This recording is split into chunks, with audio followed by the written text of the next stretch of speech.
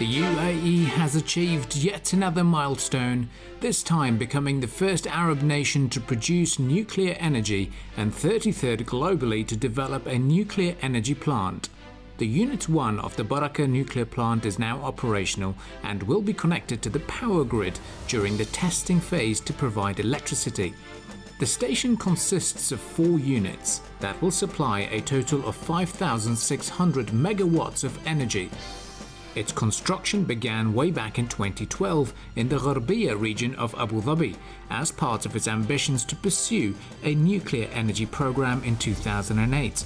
While Units 1 and 2 are now complete, construction of Units 3 and 4 are 92% and 85% complete respectively, while the construction of the plant as a whole is now 94% complete.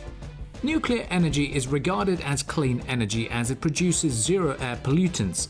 Uranium is the nuclear fuel that is used as a source of heat that is used to generate electricity. So let's have a look at the process. At the fuel assembly manufacturing facility in South Korea, the uranium gas is made into a powder, followed by being shaped and heated to form small fuel pellets. The pellets are then stored into the metal tubes called fuel rods, which are then bundled together to create fuel assemblies. These are safe to handle as they have very low radioactivity. These fuel assemblies are then shipped to the UAE at the Barakah nuclear power plant. At the plant, the fuel handlers transfer around 241 fuel assemblies into the reactor. The fuel assemblies contain 22 million fuel pellets. This fuel loading process takes up to 14 days.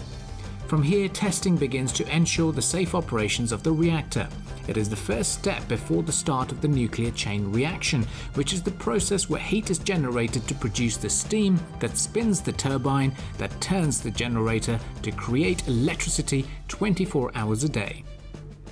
Once the four reactors are online, the facility will provide around 25% of the country's electricity and avoid the release of up to 21 million tons of carbon emissions that would otherwise be produced by burning fossil fuels for electricity generation.